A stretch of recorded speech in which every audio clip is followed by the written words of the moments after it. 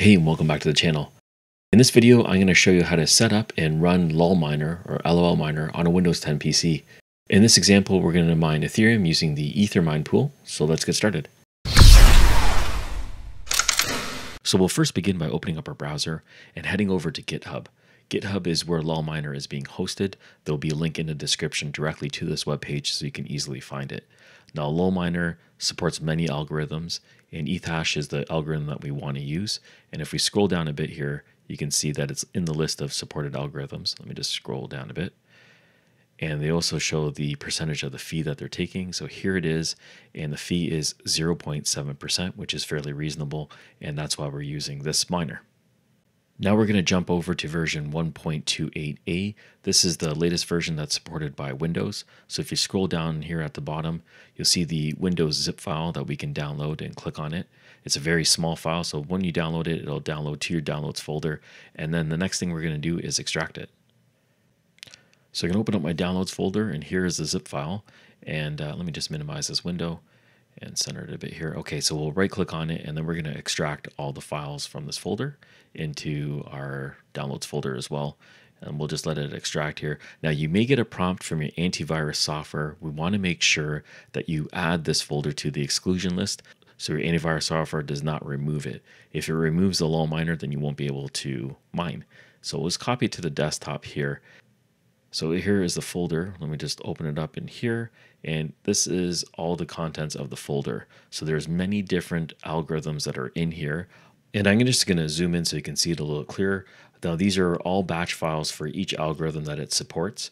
Now the one that we're going to be using is ethash, which is this one over here. And we're going to be editing this file. To edit the batch file, we just have to right click on it and say edit. You might get a warning like I did from Windows to protect your PC. We can just say run anyway. And then we get a very simple text file here with just a couple things that we need to change in order to customize it to our settings. So let me just zoom in a bit here so you can see it better. And now there's a few things that we're going to want to switch. And the first thing that we're going to do is set the pool. So in this area over here, we're going to change the pool to the pool that we want to use, and we're going to be using Ethermine. So let me open up the website for Ethermine here, and I'll just bring it onto the screen. So here we go. And I'm going to go over to Start Mining, and I'm going to scroll down a bit here. And so you have four different servers to choose from. You have the Asia, Europe, you have the US East, and the US West. So I'm going to use the US East uh, that's because I'm in Canada and this is the closest server to me. So I'm going to highlight this, which is the server address. I'm going to copy it. I'm going to open up my miner. And inside the miner text field, I'm going to paste it right here. I'm going to leave the semicolons alone and I'm going to paste it there. Okay, so us.ethermine.org colon. Now we're not going to be using 2020 because the port is different. We're going to delete that. And over here, you can see that the port number is 4444. So let me switch back over here and I'm going to type that in 4444 and that is done. And next we're going to use a wallet. So I'm going to minimize that. And the next thing that we want to do is change the wallet.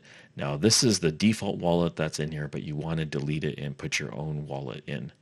So I'm going to highlight this and I'm going to delete it. Now I'm going to get my own wallet address so I'm going to copy my wallet and then I'm going to paste it in here. And that's my wallet address. Please don't use my wallet address because anything you mine will come to my account and I'll get paid for your work and you don't want that. So put in your own wallet address in here. Next, what you're going to want to do is you can either just leave this. I'm going to leave it as this, but this is just the name of the miner. Uh, when you go to the website and check it out later on, that's what's going to populate and that's just the label. So you can call it whatever you want. It doesn't have to be LOL miner worker. It could be anything of your choosing. And then when you're done, you just click on the file menu at the top and then we're just going to save it. And then that's it.